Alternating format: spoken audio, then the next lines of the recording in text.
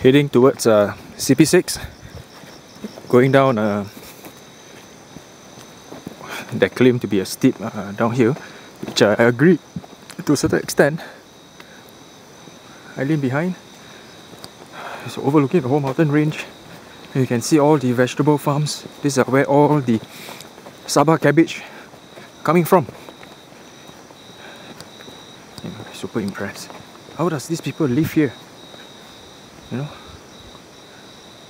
devoid of human comfort. We actually came from the other side there just now. So that was like 6 7 km away. Now we are heading towards the school. There's a school here.